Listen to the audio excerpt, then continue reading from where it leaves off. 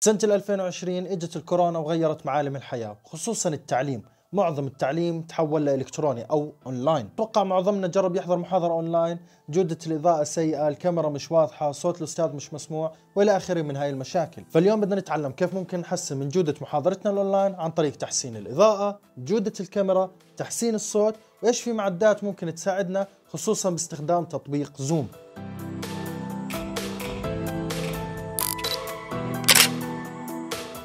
أول شيء راح نبدأ بتصحيح الأخطاء الشائعة الموجودة بمعظم محاضراتنا الأونلاين. بعدين راح نذكر المعدات والإكسسوارات اللي إحنا ممكن نستخدمها في محاضراتنا الأونلاين حتى نحسن من جودتها وراح نبدأ من الأقل تكلفة للأعلى تكلفة. نبدأ أول شيء بالإضاءة وأكثر الأخطاء شيوعا الموجوده بالمحاضرات بوقتنا الحالي. أكثر خطأ شائع بشوفه بالمحاضرات حاليا اللي هو مكان مصدر الإضاءة بالنسبة للأستاذ أو للمحاضر. فعادة بيكون وراه أو فوقيه مباشرة. وهون المشكلة الكبيرة إنه المحاضر بيكون كله بالظل والإضاءة وراه فبتطلع الخلفية بيضة والمحاضر أسود ما بيكون واضح. أو بتكون الإضاءة فوقيه مباشرة فبتعمل ظلال مزعج جدا على عيونه وعلى وجهه بشكل عام نوعا ما مخيفة. طب شو الحل يلي؟ الحل بسيط. هلأ أول شيء المشكلة أصلا إنه أنت بتكون حاط مكان الطاولة واللابتوب بزاوية الغرفة وهذا إشي طبيعي. فأنت بتكون حاط الطاولة على زاوية الغرفة وحاط اللابتوب قدامك والضوء وراك. اعكس الطاولة بكل بساطة وهيك بتتغير الإضاءة وبتصير مقابلة على وجهك مباشرة وبتضويك أنت والخلفية. إذا أنت عارف إنه محاضراتك ممكن تكون بالوقت الصباحي يعني الشمس موجودة ممكن تحط الطاولة واللابتوب قبال الشباك وهذا من أفضل مصادر الإضاءة اللي أنت ممكن تستخدمها لأنه إضاءة جدا ناعمة و flattering هيك مريحه للعين وكل إشي واضح بالفيديو. هاي أبسط الحلول اللي أنت ممكن تعملها حتى تحسن جودة الإضاءة عندك بالفيديو. طب يا ليو إذا أنا بصور بالليل أو أنا موجود بغرفة ما بوصلها ضوء الشمس ممكن أنت تستخدم table lamp تضوي عليك بشكل مباشر يكون فيه لمبة إضاءتها جدا قوية ممتازة وتضويك بشكل واضح. بس هاي إضاءتها بتكون حادة وغير محببة أو غير مريحة للعين نوعا ما. إذا بدك ترفع المستوى شوي وتعلي التكلفة كمان ممكن تشتري رأس إضاءة موجود عليه softbox مصدر إضاءة كبير وبيعطي إضاءة ناعمة على الوجه ومريحة للطلاب كمان. وعادة بيجوا اثنين softbox ممكن تضويه عليك ك key light مصدر إضاءة رئيسي و softbox ثاني ممكن تضويه على الخلفية ممكن تضويه عليك من ورا ك back light يعطيك rim خفيف إلى آخره. لكن ضوء واحد ممكن أنت يكفيك ويحسن من جودة الإضاءة عندك بالفيديو. فهي مثلا هون الفرق لما تكون الإضاءة وراي أو لما تكون فوقي مباشرة أو لما تكون قدامي. وهون الإضاءة لما أكون أنا قبال الشمس أو الشباك وهون لما أستخدم table lamp بإضاءة حادة وهون لما أستخدم softbox صغير.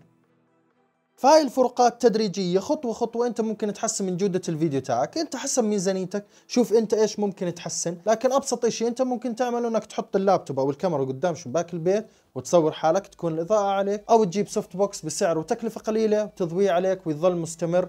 وبأي وقت أنت تقدر تبلش محاضراتك. ننتقل للمرحلة الثانية اللي هي جودة الصورة أو نحكي جودة الكاميرا. واحد من أكثر الأخطاء شيوعا يعني عم بشوفها بمحاضراتنا الحالية إنه لما يستخدموا كاميرا اللابتوب أو أي كاميرا بتكون العدسة وسخة. فأنت يفضل إنك تنظفها على الأقل بشريطة بنسميها مايكرو فايبر أو بالشريطة أو بالقطعه التنظيف اللي بتيجي مع نظاراتك أو عدساتك. فأنت بتقدر تمسح فيها الكاميرا وتنظف الصورة وهيك تطلع جودتها أحسن. وهذا أبسط حل أنت ممكن تعمله كبداية لكن كاميرا اللابتوب نوعا ما ال resolution تاعها قليل وجودتها ضعيفة. فشو في حل كمان أحسن الجودة بأقل تكلفة. ممكن أنت على نفس محاضرة الزوم تشبك لابتوبك إذا بدك تشرح عليه وتشبك تليفونك على نفس ال meeting على نفس الاجتماع على الزوم وتفتح الكاميرا من تليفونك. هلأ إذا أنت عندك كاميرا احترافية خصوصا كاميرات شركة كانون شركة كانون نزلت تطبيق اسمه EOS Webcam Utility بسمح لك تشبك كاميرتك الاحترافية زي كأنها webcam وتسلط عليك وهي أنا بعملها بمحاضراتي مع طلابي. إذا بدك تشتري كاميرا ومخصصة لل Zoom meetings أو نحكي لل streaming إلى آخره بهاي الحالة بنصحك تشتري أي webcam من شركة لوجيتك لوجيتك هي شركة مشهورة بتصنيع معدات الكمبيوتر واكسسواراتها إلى آخره وكاميراتهم الويب هي من أفضل الكاميرات الموجودة في السوق حاليا. والحلو بكاميراتهم plug and play يعني خلص طلعها من الكرتونة وصلها على اللابتوب فورا تشبكها على محاضرة الزوم. والحلو إنها صغيرة. بتتركب على شاشة اللابتوب بالملقط الصغير اللي فيها أو بيجي بنفس الكرتونة tripod صغير أنت ممكن تتحكم فيه تخليها على الطاولة أو على الزاوية أنت بدك إياها. نبدأ هسه نعمل مقارنة بين الكاميرات وجودتها. فأنا هلأ حاليا على كاميرا اللابتوب. وهون أنا عم بستخدم ال webcam من شركة لوجيتك راح تنتبهوا إنه ال dynamic range صار أعلى المنطقة اللي كانت هون بطلت overexposed وال resolution صار أعلى full HD وحاليا أنا عم بستخدم كاميرا السيلفي الموجودة بتليفوني بس بدكم تنتبهوا اتصال الكاميرا هون على برنامج زوم مش مباشر هو عن طريق الإنترنت. فالتليفون لحاله عم بوصل إشارة واللابتوب لحاله عم بوصل إشارة. فيمكن تنتبهوا إنه شوي مبكسل أو جودته قليله للفيديو اللي طالع من سلف التليفون. وحاليا عم أستخدم كاميرتي الاحترافية كانون 6D Mark 2 موصله على اللابتوب. خليني أشيل هاي من الطريق. وهون بتقدروا تحكموا أكيد جودة الكاميرا هون ال sensor كثير كبير فالجودة جدا عالية وموصلة بسلك مباشرة على اللابتوب. كأنها webcam وجب التنويه حبايبي أنا بستخدم هلا الكاميرا ال webcam من شركة لوجيتك حتى تصور هون الفيديو اللي أنتم شايفينه بس بدي تنتبهوا لملاحظة مهمة جدا. الكاميرا بتصور بالوضع الأوتوماتيكي. إيش يعني؟ بالوضع الأوتوماتيكي بحاول يعطيك الإضاءة المناسبة حسب الكاميرا ما بتشوف. فبتتأثر جدا بإضاءة كل شيء موجود في المشهد ومش بس من ناحية إضاءة حتى ألوان. فبدي تنتبهوا مثلا إنه ال exposure على وجهي والإضاءة على وجهي شوي زيادة لكن أنا لو لابس أسود راح تزيد الإضاءة كثير هون صارت overexposed وكمان خلال الحكي لو أنا بحرك ايدي وفتحتهم قدام الكاميرا راح تغير ال exposure على وجهي كمان. ونفس الشيء إذا كانت الخلفية وراي مضوي عليها ضوء orange أو مضوي عليها أزرق راح تختلف الألوان كاميرا. فبهاي الحالة يفضل إني أستخدم الكاميرا professional DSLR حتى ما تتغير هاي ال options خلص أنا بحط على الوضع ال manual بحط ال white balance زي ما أنا بدي بحط ال shutter ال ISO ال aperture الاوضاع ال exposure يظل manual ما يتغير نهائي. ننتقل لثالث شيء أنت ممكن تعمله لتحسن جودة محاضرتك الأونلاين ألا وهو الصوت. من ناحية الصوت هاي مشكلة كثير كبيرة بدكم تنتبهوا لها حبايبي لأنه لما أنت تحكي مع الطلاب ويكون الصوت مش واضح أو مزعج الطلاب ما راح يركزوا معك راح يخفوا بالمحاضرة أكثر شيء واحد من أكثر الأخطاء شو أنا بشوفها بالمحاضرين انه بيستخدموا الميكروفون تاع اللابتوب جاهز زي ما هو من غير أي تعديلات.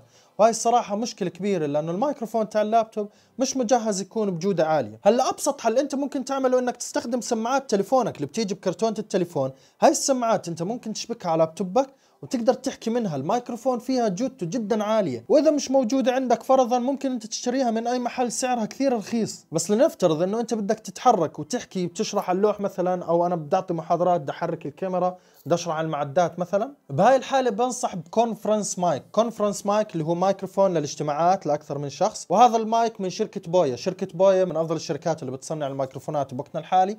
أنت ممكن تستخدمه والحلو فيه إنه وصلة USB. بتوصله على اللابتوب plug and play مجرد ما توصله خلص بشبك مباشرة وبتقدر تستخدمه. والحلو فيه إنه بيلقط الصوت من كل الجهات. أما إذا بدك مايك يتوجه عليك مباشرة ويركز على صوتك ونوعا ما يلغي الأصوات المحيطة بهاي الحالة بنستخدم shotgun mic وهذا المايك الحلو فيه إنه shotgun يعني بس موجه لجهة محددة. تقدر أنت توجهه على زاوية معينة إذا أنت حركتك مش كثير بعيدة عن الكاميرا أو عن مجال الميكروفون وبلقط الصوت بشكل ممتاز. نعمل تجربة للصوت على السريع. فهلا أنتم سامعيني من صوت الميكروفون الداخلي لللابتوب؟ test 3 2 1 وحاليا سامعين صوتي من الميكروفون الموجود بسماعات تليفوني ف test 3 2 1 وهذا الصوت اللي سامعينه من المايك تاع شركة بويا بس بدكم تنتبهوا أنا حاطه على اللابتوب نفسه فاحتمال صوت كبسات ال keyboard يطلع بشكل واضح على الميكروفون هذا أكثر. وهذا صوتي حاليا عن طريق ال mic shotgun بس بدكم تنتبهوا إنه هذا المايك بس موجه لهاي المنطقة. فأنا إذا بعدت عن المكان المايك الموجه له راح يختلف صوتي نوعا ما أو راح يخف أو إذا لفيت ورا المايك كمان راح يخف كثير. فأفضل حل مناسب. إذا أنت بدك تتحرك كثير رح تقوم من محلك ال conference mic. لحد هسه حكينا عن ثلاث أشياء مهمة جدا حتى تحسن مستوى الفيديو عندك بشكل عالي جدا. بس ضل عندنا شغلتين. من معدات التصوير ممكن ترفع مستوى المحاضرة عندنا لأعلى مستوى. واحدة منهم اللي هو ال teleprompter أو بنسميه ال autocue بتشوفوا قنوات التلفزيون أو الأخبار المذيع عم بقرأ عن شاشة بس بنفس الوقت هاي الشاشة وراها كاميرا. فبتلاقيه عم بقرأ أو عم بتطلع على الكاميرا بنفس الوقت. هاي الأداة هي ال teleprompter هي عبارة عن مراية 50% شفافة الكاميرا بتكون موجودة وراها وبتقدر قبال المراية تحط تليفونك أو التابلت وتكتب الكلمات اللي بدك إياها تقرأها. وهاي الأداة إحنا ممكن نستخدمها بتطبيق زوم أو بمحاضرات الأونلاين بشكل خرافي جدا لحل مشكلة كبيرة كثير. المشكلة إنه المحاضر بتطلع على الشاشة والكاميرا مش موجود محل ما بتطلع. فبتحس إنه هون المحاضر على عدم تواصل مع الطلاب لأنه ما بتطلع عليهم مباشرة وهي مشكلة. أنت ما بتقدر تحكي وتشرح للطلاب وبنفس الوقت تطلع على الكاميرا ما بتقدر.